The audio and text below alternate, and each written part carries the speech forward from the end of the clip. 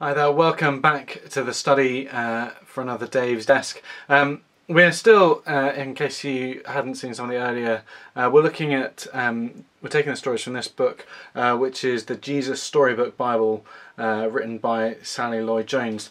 Uh, and we've got to the, to the story of Jesus calming the storm. Um, if you're not familiar with it, Jesus and his disciples have been really busy teaching and it's time for them to move on.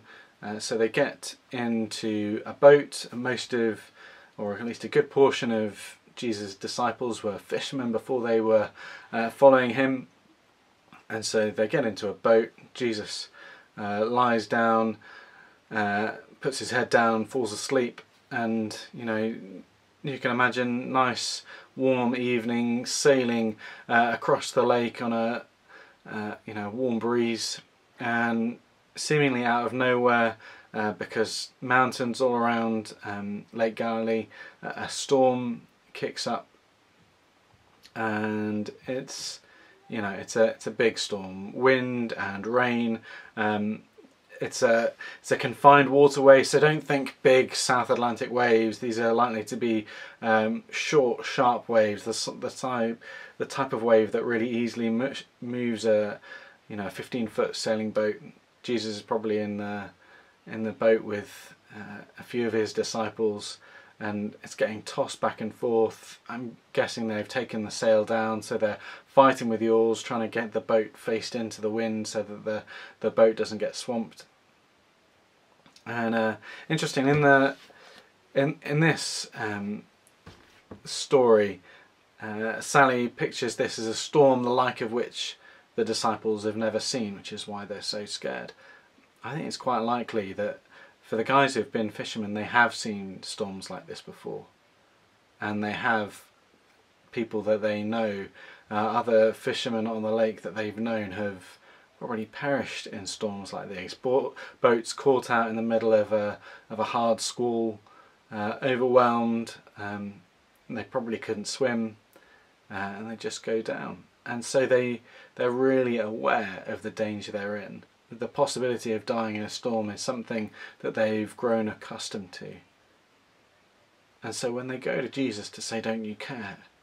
it's because they're struggling and they know that their life uh, is potentially coming to an end. They probably need help, someone else to pull on an oar to get the boat pointed in the right direction. But Jesus doesn't join in with their struggles. He changes the entire dynamic of what's going on.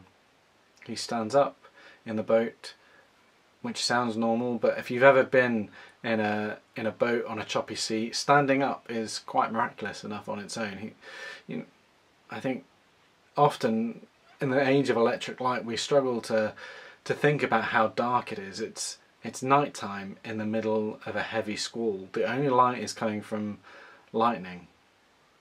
You know, it's pitch black. The boat, the boat is moving uh, all the time, and Jesus stands up and, with utter serenity, tells the waves and the wind to be still. And they are. You know, the voice of He who spoke to create the wind and the waves speaks once more and they're stilled. Uh, just reflecting both on this moment of uh, the demonstration of Jesus' divine power, and that's what the, the disciples take away from this. Who is this who even the wind and the waves listen to him?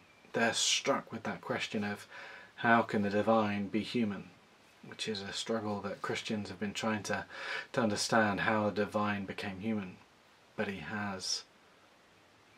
And also the way in which Jesus doesn't answer their questions in the way that they anticipated.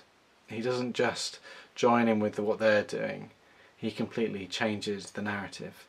And I think we need, when we're praying, um, Your kingdom come, Your will be done, as we were talking about in yesterday's reflection, we need to be saying, Your kingdom come, Your will be done, not what I imagine the solution should be, but what your solution is to this situation. Um, I've been reflecting for myself on the experience of um, of being in exile from worshipping together, from being uh, in our um, church buildings, and what it means for us to be in exile.